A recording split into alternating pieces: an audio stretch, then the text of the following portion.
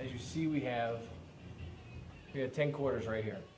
So we're gonna go into each one of these.